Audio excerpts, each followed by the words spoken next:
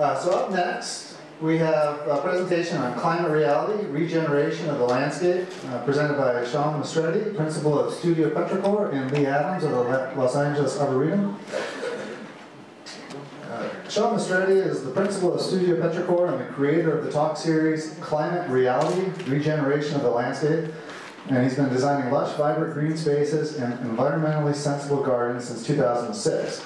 Shawn is a designer, plantsman, licensed landscape architect, certified arborist, licensed landscape contractor, and educator.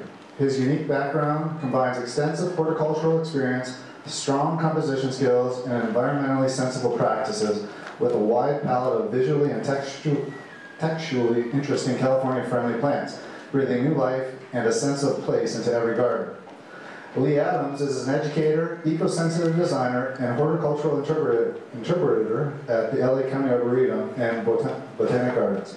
She has trained many county agencies in regenerative practices as well as conducting hands-on workshops with local schools and professional groups. Her love of uh, collaboration and education infuse all aspects of her work, leaving participants with a profound sense of empowered accomplishments. Please welcome Shawn and Leigh Adams. And, for those are standing, there's seats up front. Come on up if you want.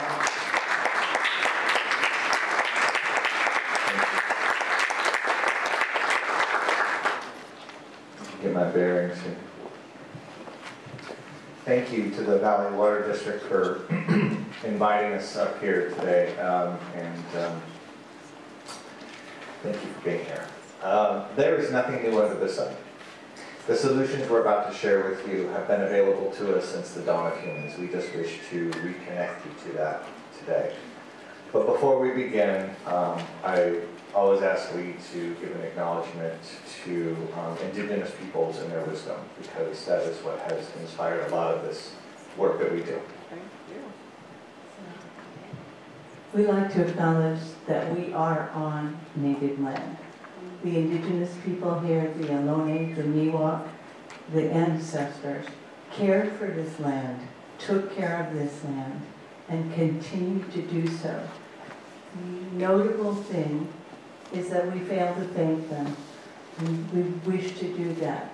We also like to point out that in every case where indigenous people are caring for the land, the biodiversity is the greatest in North America. So please extend that invitation to the people you know, thank them, and let's work together for solutions for all of us. Okay, so here we are, um, lovers of plants, lovers of nature. We can agree, and we do, that our exposure to nature in our formative years has influenced our work today. As it turns out, if you're to become friends with plants, you are also going to become familiar with their counterparts, soil, carbon, water, and biodiversity. All things are connected above and below ground, and that is what supports community for all of us. So we are out of time.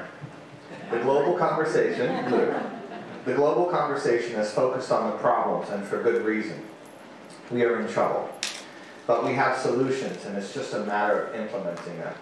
We believe that protecting our soils, treating carbon as our frenemy, optimizing our water use, supporting biodiversity, and supporting community throughout all five kingdoms will help to offset the effects of climate change in the most beautiful way.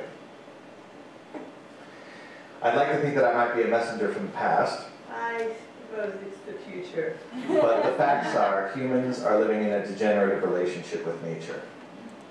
Sustainability is a great effort, but it isn't nearly enough. And if we want to thrive alongside with nature, we must start thinking and acting regeneratively. We recently came across this quote that has inspired this next generation of talks and moving forward. You never change things by fighting the existing reality. To change something, build a new model that makes the existing model obsolete. This is something we are trying to do in our lives at home, in our office, and especially in every project that we work on. Thank you. So what is entropy? We live with it every day. Entropy is the breaking down of systems. Um, Shawn, you're gonna, uh, it's an, okay, a, a new gadget I'm not familiar with. So entropy is the breaking down of systems, all systems. We all experience it. Unfortunately, right now we are experiencing accelerated uh, entropy. And the best we can do is slow it down. There are positive and negative feedback loops. Positive feedback loops contribute to ongoing issues with climate change. So here's an example. We all are familiar with these fires. The fires put out massive amounts of CO2 and pollution. That increases the heat. That means we have more fires. It's a positive feedback loop, and we'd like to slow that down, so that's why we're here. Apathy. What is it? Um, We propose that to challenge your apathy, get yourself into action to create hope. Hope looks like action and action is hope. What keeps us from being in action? Are we overwhelmed? Do we really know what to do with that? Are you feeling empowered? It, or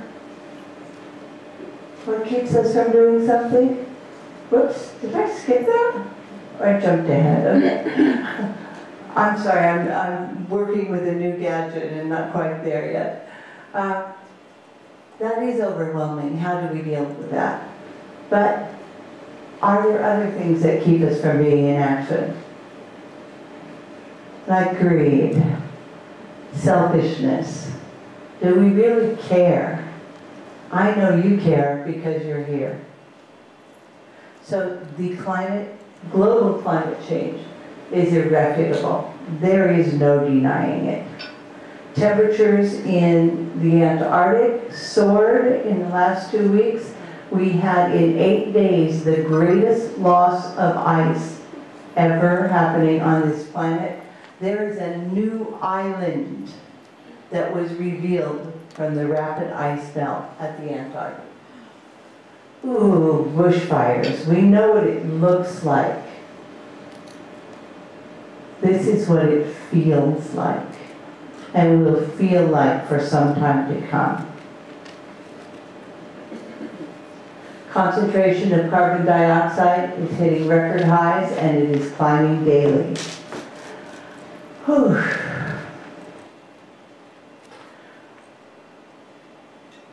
There it goes, up, up, up, and causing us to lose up to 50% of all land-based species in this century. We've seen half of them disappear in the last 30 years, and we're at risk for losing another 50% in this century. Looks pretty bleak, doesn't it? The monarchs are gone, the bumblebees are almost non-existent. By 2050, there will be no commercial fisheries, more plastics than fish in our ocean. But there is good news. There is hope. There is something that gives me chills even to think, uh, telling you about it. Tackling climate change starts with planting trees. One trillion trees is what we need.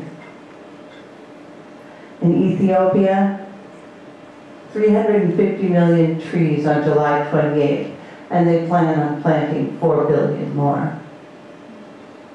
The science supports that younger, more diverse forests sequester more carbon than other growth, older growth forests, and twice as much as areas with one species. Lucky for the planet, the armies in China and India are now planting trees at record rates. We can plant trees, diverse trees, and let go of that old image of the Arbolad with identical trees on both sides. Let's get diversity into those trees and support habitat. And Shawn can show us how to do that. Okay. So this is what our atmosphere truly looks like. This is taken from the International Space Station. It's not unique, but it's important because it clearly represents the true nature of the sky. When you walk outside and look up, it seems like a vast, limitless expanse, but as scientists have, long understood, it's a very thin shell around our planet. If you were to drive at normal, at normal interstate highway speed straight up into the sky, you'd reach the top of that space in about five to 10 minutes where you couldn't breathe anymore. That's the thinness of this space. And this is the space we've been using as an open sewer for the gaseous waste of our civilizations. We are currently, currently spewing 110 million tons of man-made global warming pollution into that thin shell every 24 hours. We'll continue to do that today, tomorrow, until we bring about meaningful change. the global warming pollution comes from a lot of sources. I'm not going to concentrate on all of these. It's important to understand that agriculture is a major factor in that, but be looking out for regenerative agricultural practices. Uh, now the permafrost is melting and releasing not only CO2 but methane. But our main source is the burning of fossil fuels. And here are some of the effects. In mid-February 2018, the polar vortex split into two, bringing bitter cold to parts of North America and Europe, and record warmth to the Arctic. This is what the normal jet stream should look like. And this is what it looked like in 2018. You can see it split into two and record warmth heading over the Arctic. Sounds familiar. This was last year. It split into three. I don't have the data on this year's, but we now have evidence that now Antarctica is melting at rec record rates. So the North Pole has now experienced midwinter heat waves, I'm going to now say five years in a row. Just need that updated slide. Um, 93 of 93% of the extra heat trapped by man-made global warming pollution goes into the ocean. the scientists are able to measure the heat buildup of the ocean much more precisely now, and uh, half of this increase has just occurred in the last 20 years. As temperatures increase, the oceans evaporate more moisture into the sky. A lot of people don't realize this, but water vapor is the number one greenhouse gas. Carbon dioxide is too. This is why there have been 17 1 in 1,000 year downpour events in the US since 2010. You're not supposed to have more than one of those in a year, more or less a thousand years. So this is what is being referred to as a rain bomb. And this is my favorite video. Watch the water splash down three times on two Tucson. This is due to all of that extra water vapor in the atmosphere, so our downpour events will become more extreme. This is here in San Jose, 2017. The same extra heat, heat causing evaporate, uh, that evaporate more water from the ocean, causing bigger downpours and floods, also pulls moisture right out of the soil at the same time, causing longer, deeper droughts. Which brings us back to home. The correlation between hotter years and more fires is very exact, and it's been long understood. The Carr Fire burned over 229,000 acres and destroyed over 1,000 homes. But what's left standing? Trees. And the messaging out there with our utility companies is that the vegetation is the problem. The trees are being murdered in, in our neighborhood. I don't know about up here. They're being topped like crazy. The trees also hold moisture. It's the invasive grasses that were actually the flashy fuels that started the fires. So now, the three most expensive wildfires in history have happened in just the last two years. Worldwide pollution kills 7 million people every single year. And it's slowly destroying our brain functions. There's a recent TED talk that uh, just shared with me that was pretty enlightening and depressing. Uh, this is a map of deaths attributable to ambient air pollution with countries colored by number of deaths per year. The bottom line is air pollution has been shown to affect mental and cognitive abilities, particularly in children. and in utero. I don't want this for my family, and I don't want this for yours. Lower income urban neighborhoods and communities of colors are the ones that get affected the most. What's missing from these photo, this photo? Trees. So let's look at the total cost of carbon. From political instability to wildfires, drought, ocean acidification, climate refugees, and so on. it's safe to say that global warming is the number one threat to our global economy. We must shift our behaviors and our current ways of thinking. The average American has a 15 ton per year carbon footprint. In order to stay under 2 degrees Celsius, the average American needs to have a footprint of under 2 ton per year. That's an 87% change in behavior. Stop, start, right? So it's time to live differently. It's rational to feel depressed and scared right now. I'm, trust me, putting together this presentation. Ooh. but your feeling is valid and you are not alone. Grief and anger will move through us when we get into action. Hope is only useful when we're undertaking actions to keep hope alive. It's time to live regeneratively.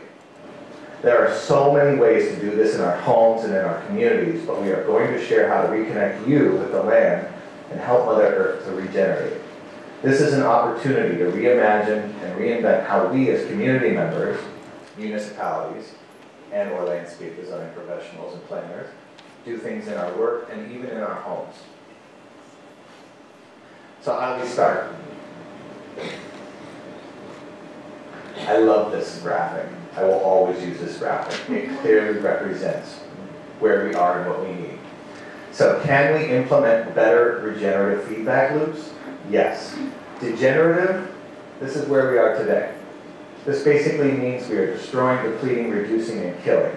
Sustainability basically just means surviving and maintaining. But regenerative is thriving, renewing, recreating, and it creates abundance. Think about it. What is true sustainability? True sustainability isn't organic food shipped from three states over. It isn't water piped from miles away. And it isn't sending your recyclables to another factory or across the world that burns just that just burns more energy. Sustainability, true sustainability, is the result of a regenerative model which is melt, um, which is making use of what we have. True sustainability is in our own two hands, in our backyards and in our community. So in order to get out of this, we need to get into this in order to sustain. So how do we start? From the beginning with soil. Leigh, will you guide us on meditation? I know there's a lot of icky stuff right there, so we're going to try and get into solution. Thank you. Since we're in a great place and a safe place, if I could ask you to exhale, inhale, and as you do so, close your eyes and remember a time and a place in which you were under a tree sheltered, not worried, not scared, completely safe. Sit down or lean against the trunk or sit on a branch. Feel the soil below. There's lots of things there. Are there moving things there? Might be. Is there a smell?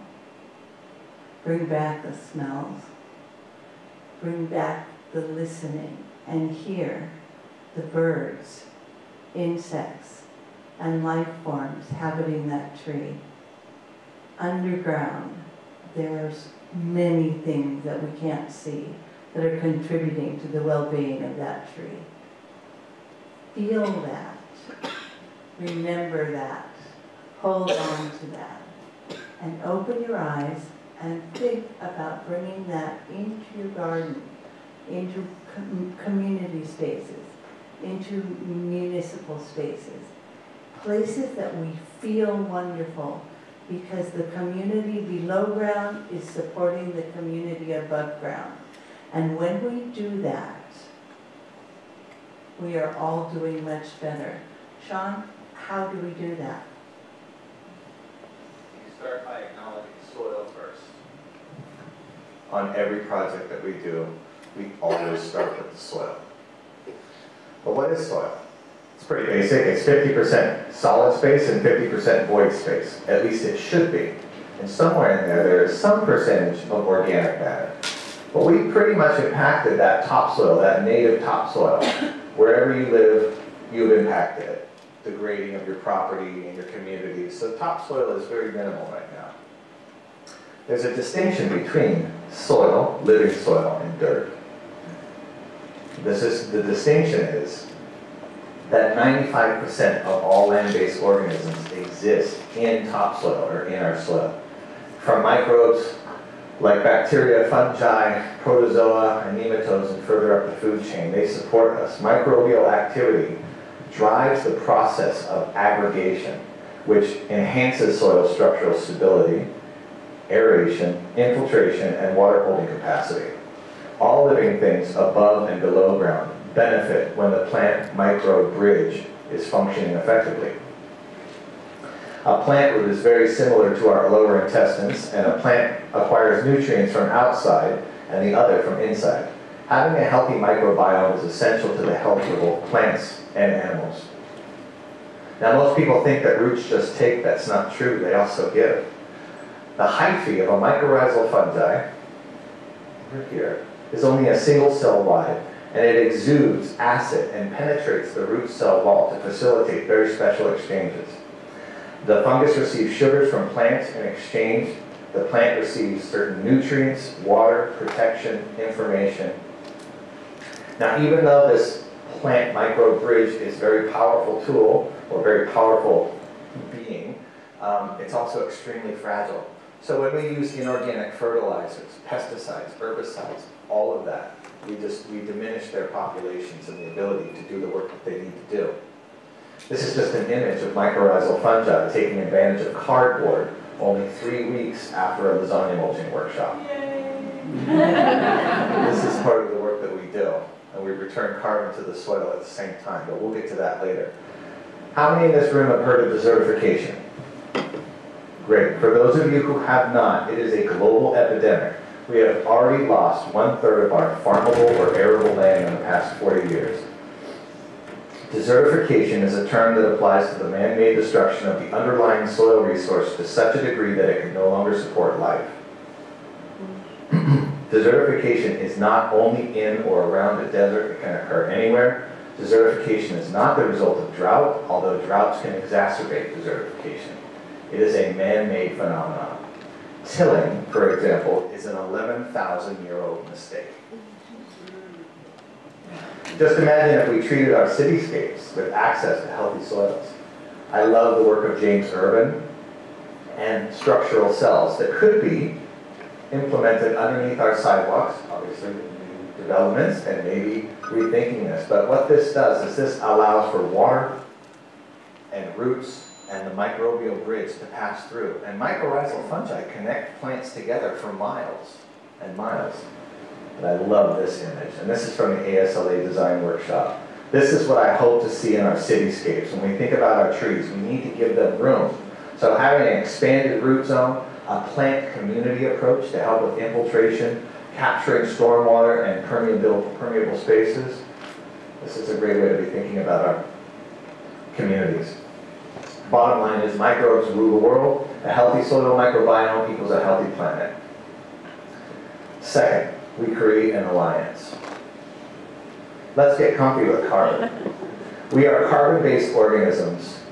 we need to know about carbon. Carbon is the most basic essential building block of life. Where there's carbon in the soil, there's water. Each human being has at least as many microorganism cells as human cells, and scientists tell us that those microorganisms were the beginning of life on Earth. They are the key to our health, our gardens, and our food, and they connect us to the soil. So let's have a look at the carbon cycle. The only arrows that I see pointing down from the atmosphere are attributed to photosynthesis, whether it's phytoplankton in the ocean or plants on land. That is carbon sequestration. Plants are so awesome that they are literally built from thin air. They are solar-powered carbohydrate-making machines that pull carbon from the atmosphere and put it into the soil where it belongs.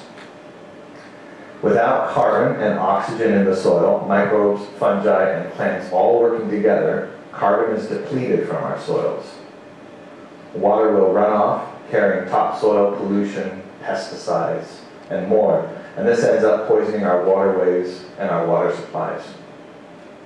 The movement of carbon from the atmosphere to soil via green plants represents the most powerful tool we have at our disposal for the restoration of soil function and the reduction of CO, atmospheric CO2. In the upper left corner is a microscopic view of a stomata, and that's basically the breathing mechanism of a leaf. I like to think of it as a CO2 monster. Another way to return carbon to the soil, Leigh? Oh boy, can I have you say Hugel culture? Hugel culture. Hugel means mound in German, culture is obvious. With the trees that we are losing, instead of grinding them up or taking them away, let's put them back into the soil. Here is a hugel over a 20-year period. We mound logs. We mound green waste. We take cardboard. We layer it in there. It creates soil and it is a passive water harvesting system when oriented correctly. It also increases surface area and we can build pollinator hubs in just this self-watering space that maintains itself. And we do that. We love doing that. So this is what we do. We generally excavate some soil so that we have more water capture. We add in our green waste.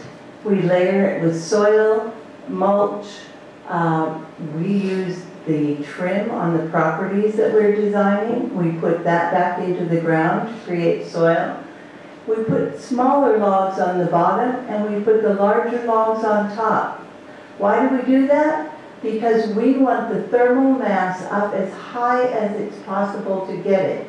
When you have a glass of cold water in your hand on a hot day, what happens? Condensation, moisture condenses. So these logs stay cooler than air temperature, and at night, as the moist air comes in, oh, I've skipped Shawn's tutorial here. As, as the moist air comes in at night, then um, those logs are cooler than air temperature. And they force moisture from its gaseous state into a liquid state. Our number one problem with wood in the world is that it draws in water and we have to seal it with fascia and special paints. So instead, let's use that, let's use that ability to force moisture into condensation, draw it in through capillary action, and then let our plants pull it out through capillary action. When oriented correctly, this is something you won't believe until you try it. So we've gotten our local city, Pasadena, California, now has two hugels of its own. Let's watch us pull the community together and see this happen. Oh goodness, there's the cardboard, calling in the mycorrhizal fungi. Oh yeah, laying down our green waste from a recent trim soil to inoculate it, logs from tree trimming, mulch, soil. Let some lasagna hugel, we're layering it. You notice the people standing back and then getting involved. Those are neighbors from the community as well as others who've come to learn about this. Now they have ownership, involvement. They care about the future of what's growing here.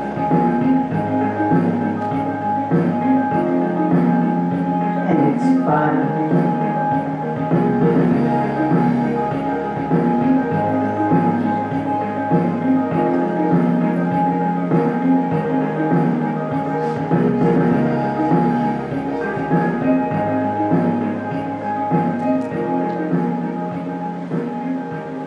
last week We got to plant that with native plants and city employees and the Outward Bound Youth Group who now have skills and an investment in creating pollinator hubs. They own that in their minds. They will be driving past there for years to come and celebrating what they learned to do. Oh my goodness, I failed to mention that we can build a hugel on top of pavement or concrete, and it works. You can even put one on a brown field, and while it bioremediates, you can grow healthy food on top of it. I- So there's so much to do with this. There are other ways we can return carbon to the soil. There's mulching, composting, lasagna mulching. You saw our beautiful mycorrhizal growth in three weeks. We use biochar and bamboo vinegar. We use rainwater harvesting in every project we do. And that is a negative feedback loop, something that slows entropy. Our third point is to honor water and invite it to stay. Uh, For Ms. Hawk, I would ask you, thank you. For Ms. Hawk, I would invite you to consider using the term optimizing water as opposed to conservation. Conservation, we are feeling small and saving, we can feel pride in doing it. But when we optimize, we feel clever, like we just invested in the stock market and we are optimizing our funds. Hey, yeah, let's optimize, go for it. Watch how it changes when the language changes.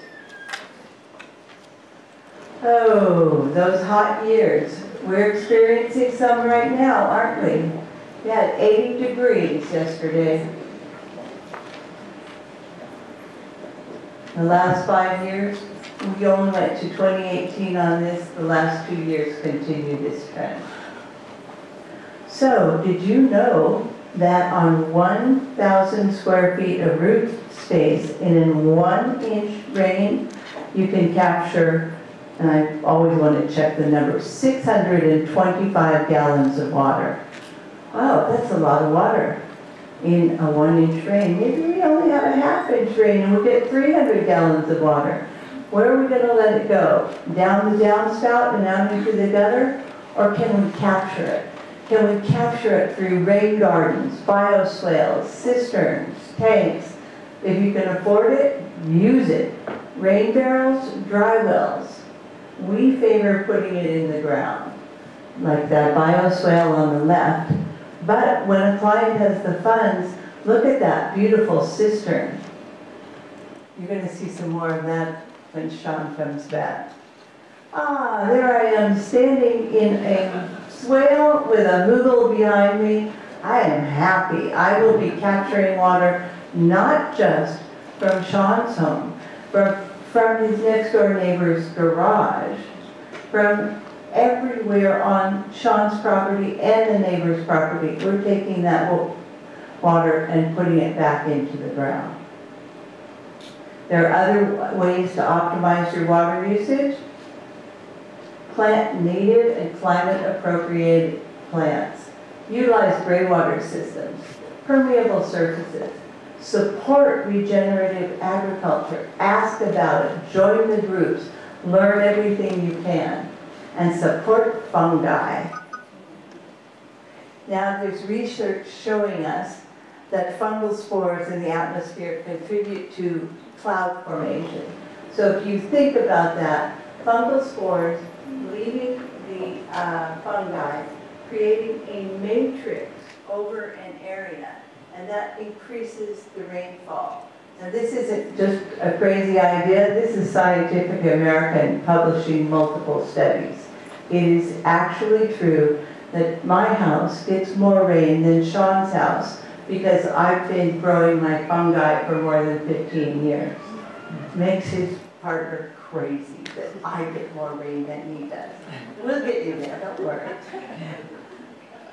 Um, And once you know that that is the case, when mushrooms spring up like tulips after a good rain soaking, we get more rain, we get more mushroom. that is a negative feedback cycle. Ooh, good, let's go for that. So if you accept that uh, the fungal spores create a climate change, when we take out forests and reduce our living ecosystems, we lose that rain. And that is the process of desertification. Number four, once we have the holy trinity of soil, water, and carbon working together, we have to support biodiversity, food, water, place. Know that the interconnected web of life is unraveling at an unfathomable speed, and the majority of the planet is not treating this as a crisis. Plant to support biodiversity. Native plants are the first line of defense in preventing habitat loss. When we design, we must support biodiversity. We must.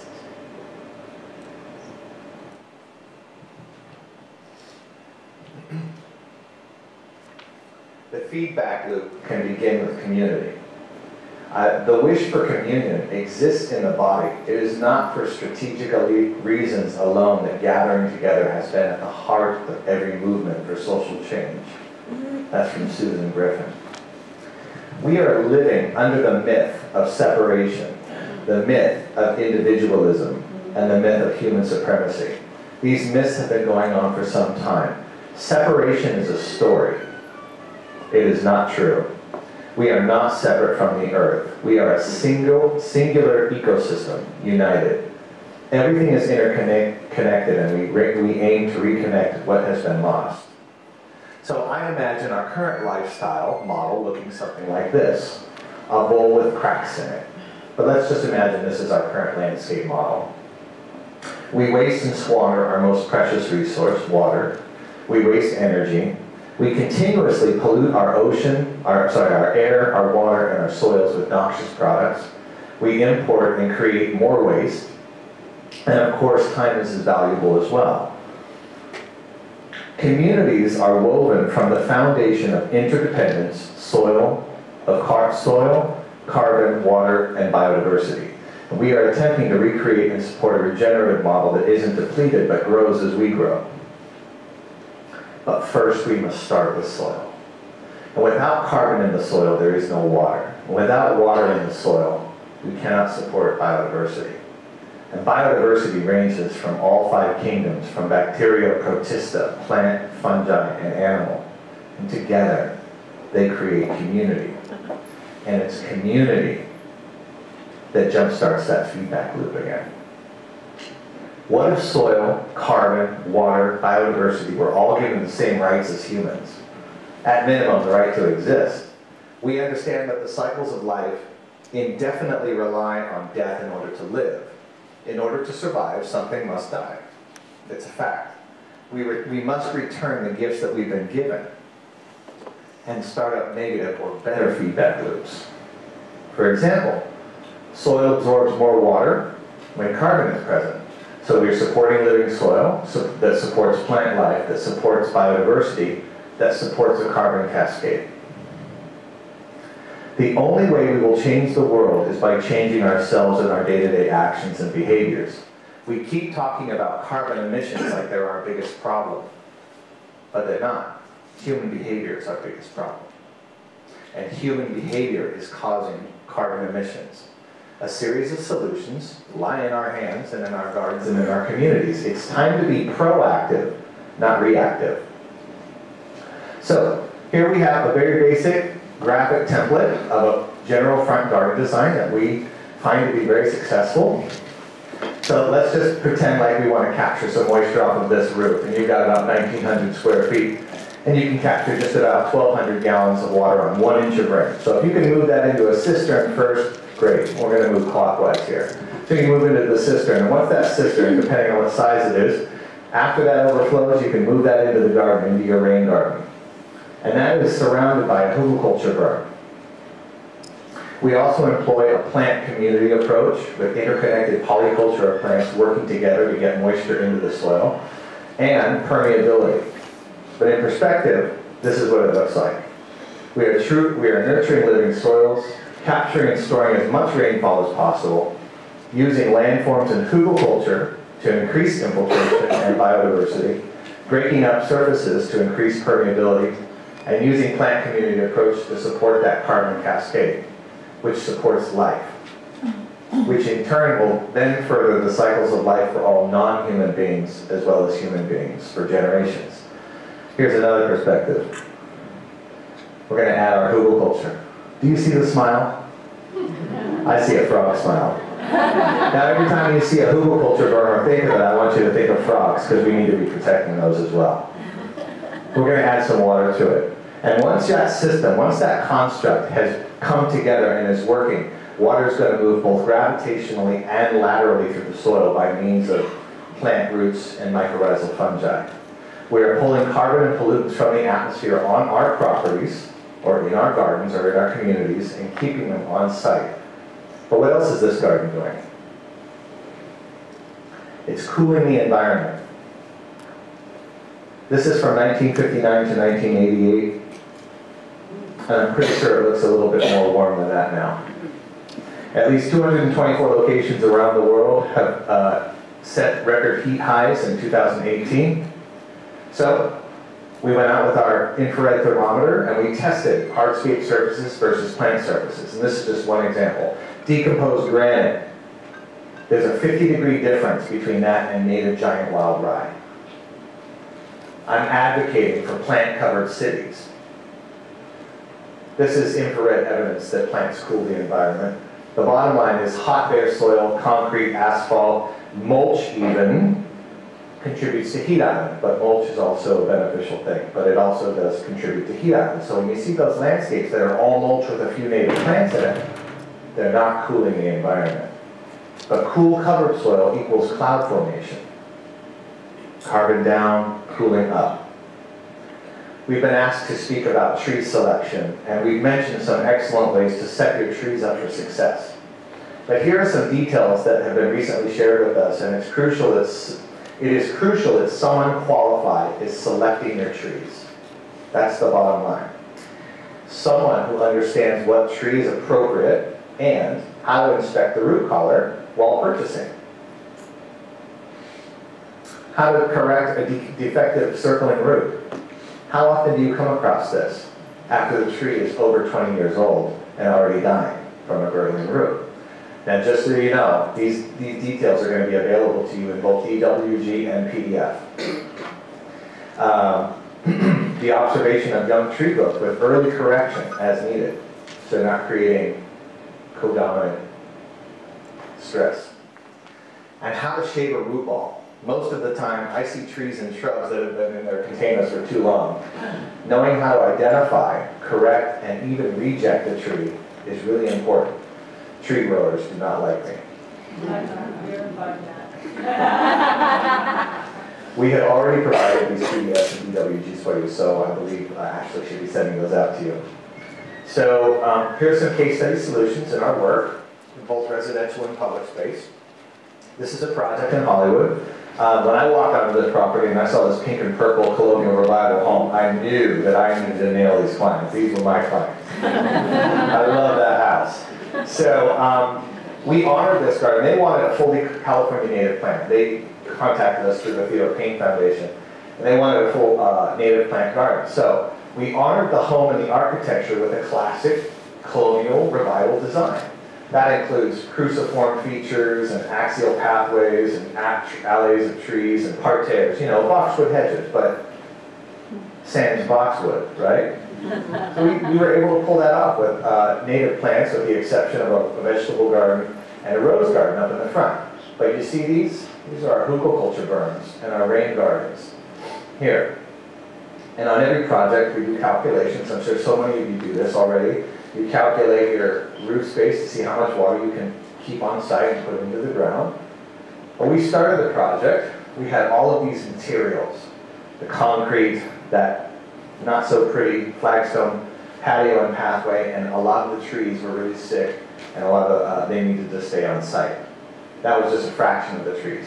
Through, so through creative saw cutting and reorganization of the materials and the trees, we were able to repurpose just about everything, except for some of the old irrigation. The only thing imported was salvaged brick and maybe some decomposed granite and a little amendment. And this is what it looked like in spring of 2019. Um, all of that concrete you saw in the front, which was a parking spot, was repurposed in that fountain. And every last bit of that purple pat, uh, flagstone patio was uh, somehow used, and we did it. We did it, but you do it on site. Sometimes you can't plan for those things. Sometimes you have to keep your design just a little bit loose and a little bit flexible. Um, that's part of our new model. It's just kind of alleviating some of that control there. Um, I mean, even the side of the house looks gorgeous. This is a native garden. A lot of people think that native gardens are not beautiful and they're scrubby. This is what the front looks like. Even that fountain is old and salvaged, salvaged and repaired. That's what it looked like last summer. Uh, see that hugelkultur berm in the front and the rain garden in action. And this garden will be on the 2018, 2020, 2020 Theodore Payne Garden Tour in March. We'll be on the Saturday tour, so if you're uh, coming down, make sure to come on over and say hi. Um, and this project in La Cañada, which we just completed, um, we incorporated uh, hugelkultur berms, cisterns, and reuse of materials. I just wanted to go through this really quickly.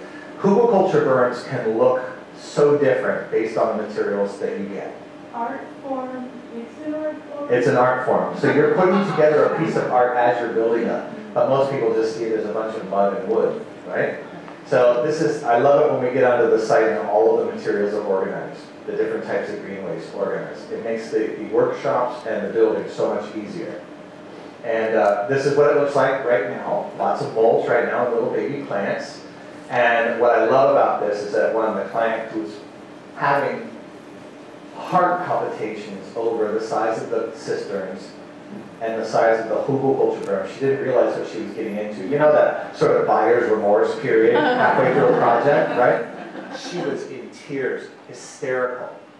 So I had to go over and hold her hand and just say, Jody, I mean, seriously, you are going to be the highlight of La Cañada with this. But secondly, when the people come over and ask you, geez, Jody, what's up with that big cistern? I want you to look to them and say, look at Australia.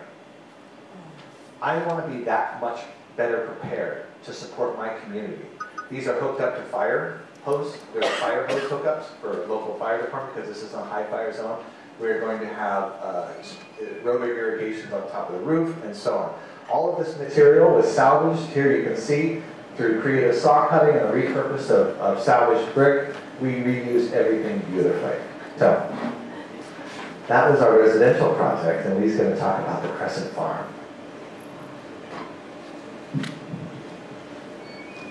And he may have to stop me, I could talk about this forever. This is very exciting. Uh, The Crescent Farm is the LA County Arboretum. It was to be a one-year demonstration, whoops. I pushed the wrong button. There we go. Um, It was to be a one-year demonstration for Wildflowering LA. And my, I agreed to captain this flagship of Wildflowering LA if I were allowed to show water optimization techniques, including hugels, of course. So uh, in this garden, which now has over 17,000 students brought through it each year to learn about water optimization techniques, we have hugels, we have an arid climate orchard, we have ethnobotanical food plants, we have lawn substitute panels over there on the right. Through here, this lawn substitute panel, lawn substitute panel, through here, through here, through here, and up here. This garden was in lawn for 80 years. It now uses 97% less water, produces food, and is now considered the flagship of the LA County Arboretum. It's been used to train 33 county agencies in sustainability practices and regenerative work. So let's go through it a little. Uh, here you're looking at the arid climate orchard. This is not on irrigation. It gets hand watered when necessary, but these trees were chosen for their uh, water, lack of water, Mediterranean and South Asian species, as well as some indigenous plants. Uh, You're looking at a infiltration basin there that didn't infiltrate. There's caliche there, which we encounter all over California. We hit caliche. With a pickaxe, I excavated that area. What am I gonna do? I can't have standing water in a public park. There's mosquitoes, there's, uh, West Nile virus, there's all kinds of things. I can't have standing water. I must have it infiltrate. So, Shawn and I have a spirit animal called mycorrhizal fungi. I lay down the cardboard in there. Why do we use cardboard? Because just like with your children or grandchildren, if you offer them a mycorrhizal fungi, if you offer them sugary breakfast cereal or healthy steel-cut oats, ah, yeah, you already know, they're going for that sugary breakfast cereal. Well, cardboard is cellulose, trees, ground up, put together in an organized pattern with glue. Mycorrhizal fungi metabolize that glue as a sugar. So they're getting pre-chewed cellulose with sugar added. Yes. Oh, how, but how does that figure into an infiltration basin? Cover over that cardboard with uh, mulch, then add some rocks to make it look like an infiltration basin. And then wait, and what will happen? The mycorrhizal fungi through those hyphae that exude acid and burn a hole into a root to connect with the root. When they run out of food, they are seeking more. They exude acid into that caliche or rock layer. They eat right through that rock. This now doesn't hold water for more than 20 minutes, even when it's filled. Mycorrhizal fungi are the secret of the universe. These are lawn substitutes, and there's a closer look at that um, uh, infiltration basin. This garden is planted with low water plants and native plants um, to teach people different things they can do. Those lawn substitutes uh, can be watered, uh, for example, can be watered once a month and mowed twice a year. Um, Achillea, uh, yarrow, takes medium traffic and can be mowed twice a year. And in Southern California, it doesn't need to be watered.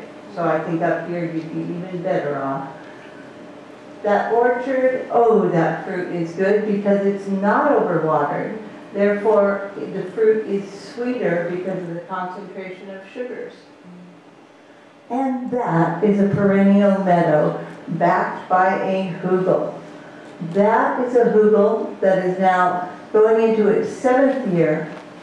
It has, you can't see it anymore. It's entirely covered with native plants to the point that the Xerces Foundation is using it as a model and just gave us a grant to add more pollinator plants in there as, so that other people will grow hedgerows and pollinator way stations.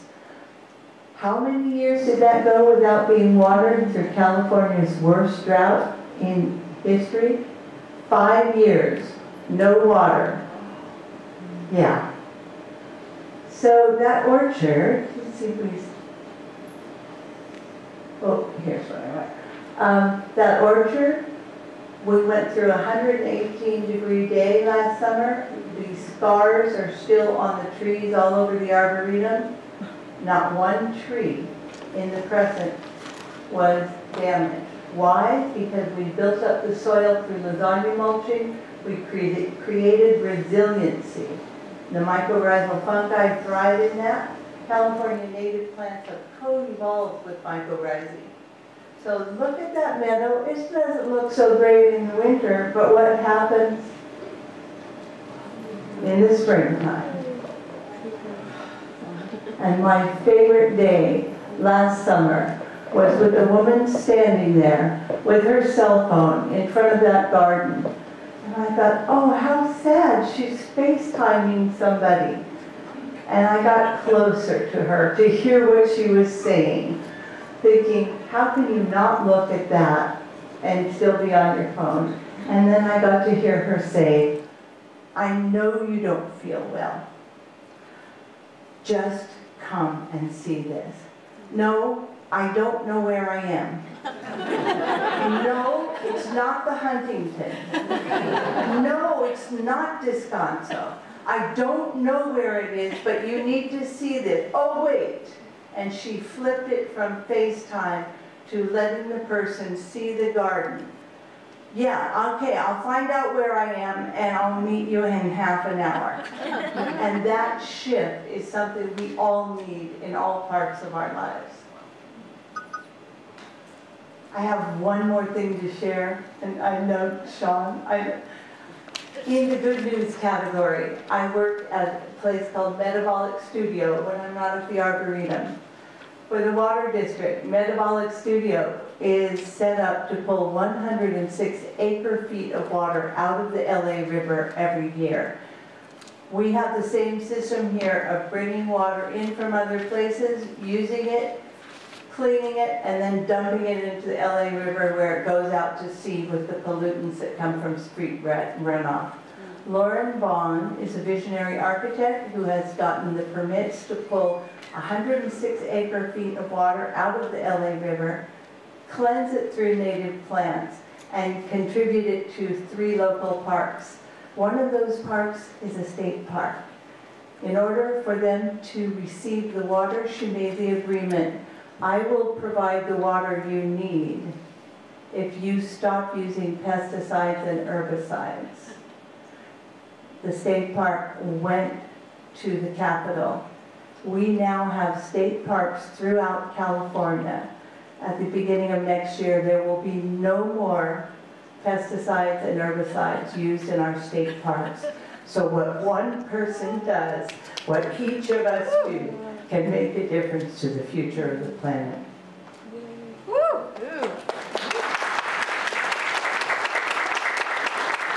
Powerful stuff. And if you ever want to come down to Los Angeles and visit her at the Arboretum, she's there on Tuesdays and we'll give you a private tour. Everything right now feels so big and so overwhelming, and rightly so. But in truth, the biggest impacts are even the smallest ones.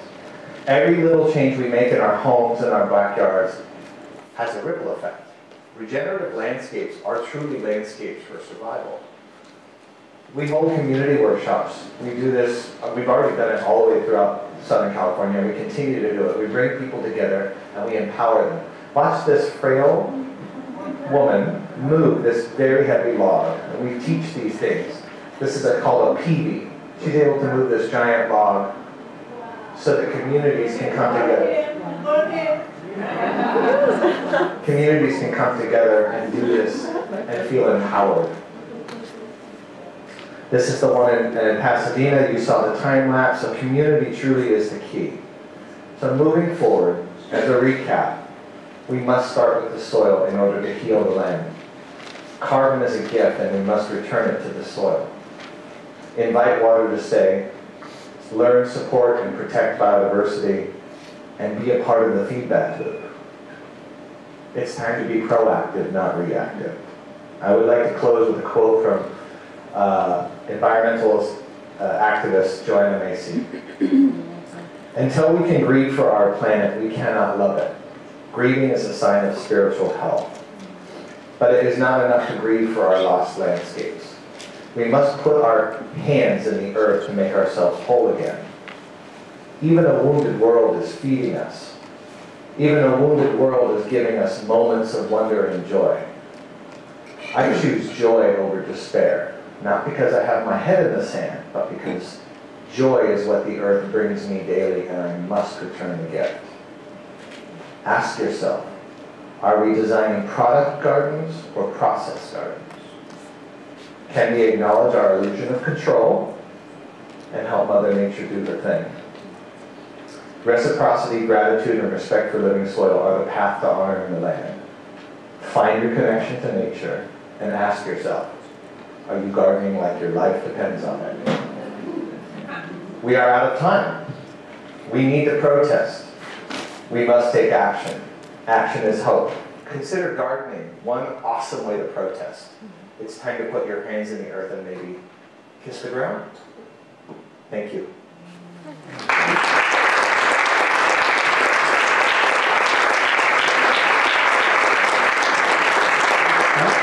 We've got uh, eight minutes for questions. Uh, If anybody wants to ask a question for Shawn or Leigh, uh, here in the front. What are we doing about uh, people putting artificial turf all over the precious uh, topsoil?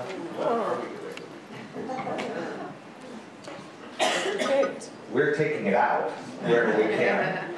I think they make great doormats.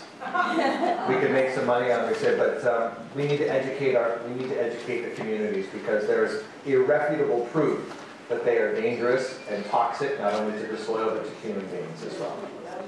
They are heating up the environment. Artificial. Soil and creating ant farm. Yeah. Talent, yeah. Yeah. In full agreement, thank you. Yeah, she was just commenting on Doug Tallamy and uh, that we're losing our biodiversity due to the staggering amount of um, artificial turf. Anybody else? Yes? I get a question here. I'm not gonna use the microphone so that people outside can hear.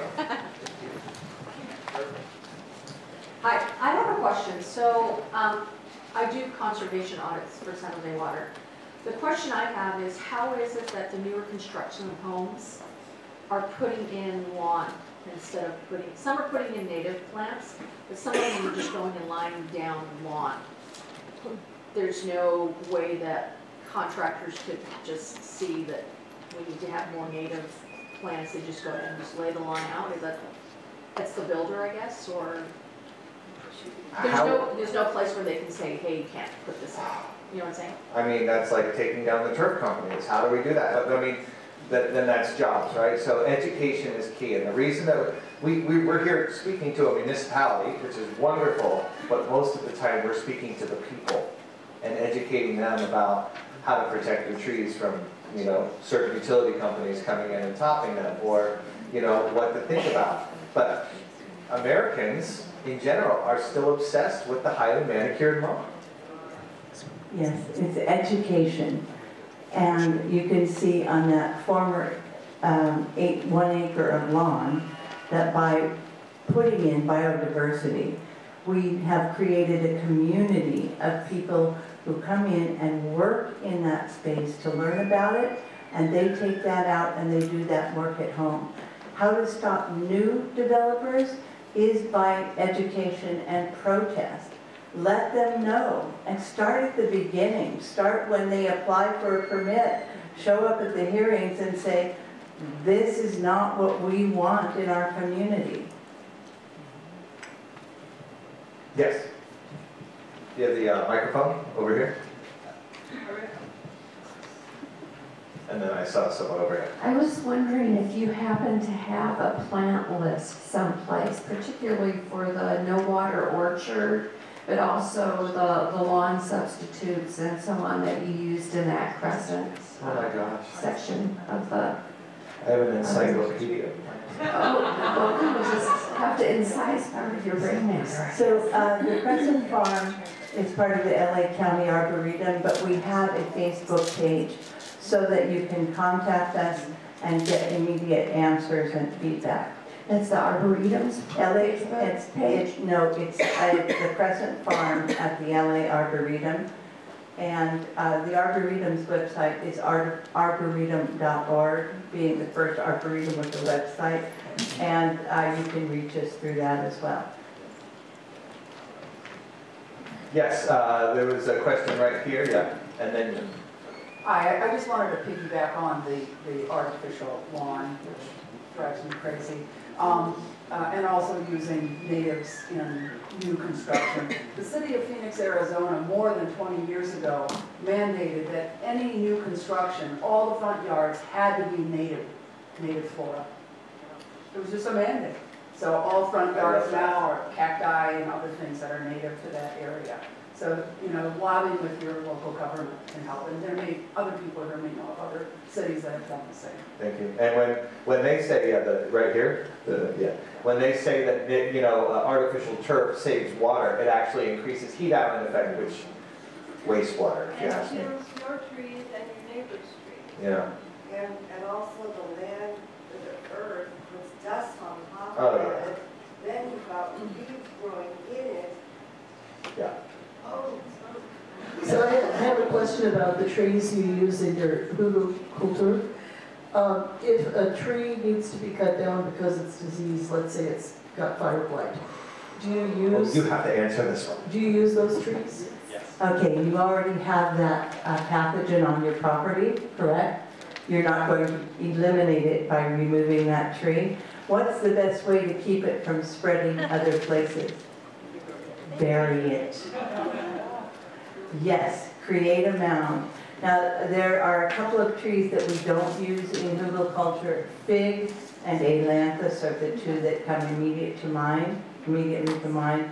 But we are not concerned, and we have gone through all the science on this, about other pathogens. Polyphagous shot hole borer is one of our biggies in Los Angeles. We bury it, and you're keeping it from moving around. So, uh, Whoever has the microphone that's handy with it. Go ahead. There was someone right here. Oh, There's a lot of people. Small one, you know, it's so bad that you got. The smallest hugel bed is in the city of Pasadena, uh, when we did a um, plant, a lasagna mulching workshop with water and power. Oh, okay, I can't tell who teeny signing to. Okay, we did a, and we were only to be lasagna mulching. And the head of the department came in and said, uh, oh, I see how this is working. And somebody said, Leigh, what do I do with this log? And I, well, I had no authority to do it, but I just thought, teach to the moment. And I said, oh, everyone who has logs, bring them to me, however big or small they are. So the community, lasagna mulching, brought them in. I built a small, uh, what is called a fish scale hugel, so it shaped like this. Down slope of the tree, within the drip line, but not close to uh, the trunk. And just, um, he said, oh, I could do that at my home. And I said, yes, please do. And, and come back for the Hugel working, uh, the Hugel workshop. One month later, we went back to plant that site. And the only place that was really moist soil, despite two rains, was where that hugel was that had captured and infiltrated. So we like to work from the top down in building and improving soil, and lasagna mulching and hugelkultur is one of the best. But the key is thermal mass. The larger the wood, it's gonna harness the moisture right out of the air. And even after we finished the planting of the hugelkultur workshop, we got all this extra logs. We just said, start placing them around the landscape. In my front garden, if you were to look at my, or her bioswale, can't even see her bioswale, there's so many plants. But you'll see where the Carex praegracilis, the slender meadow sedge on one side of the bioswale is just barely taking off and it's just out of an exposed log, not buried, there's tons of grass growth around it. So it works. Uh, uh, uh, Gentleman with the microphone. Yes. Go ahead. And that's the last question before break. Okay, two quick questions. One has to do with the carbon and nitrogen ratio. I, I know from composting in the past, thirty to one is ideal for that. When you're building the hugelkultur beds, you keep that in mind because you got a lot of carbon there with the, with the cardboard and the wood and so forth. Yeah. Delighted to answer that. Um, When, hugelkultur is a replication of a forest floor ecology. When a tree falls, it's not where the open space is that the new trees grow. It's in the shelter of that log. So in, we are mindful of carbon nitrogen uh, ratio, but it is not as significant as you would think. We plant, and we've had to remove one hugel um, for design change. During the one year that hugel was in, in existence, those plants that were on it had spread their roots, and where they put their roots is between the bark and the log. They're pulling nutrients and moisture. So it's not the breakdown of the construct, but it does become a living system, but the nutrients are there and the plants will find them. How about termites? Well, do you want termites where your log pile is next to your house, or would you like it out here in your hula? So you separate the hugel away from the house by, All right, so the- with no more questions, we just want to let you know that we have a sign-up email sheet out here, so you just add your email to it, so you can get on our newsletter, lots of wonderful things. We're going to be talking about eco bricks soon, ways to sequester plastic in non-structural structures. Blows my mind, but we did not come up with this. This is started in third world countries that have been dealing with our trash. Just want to say that. And um, thank you for everything.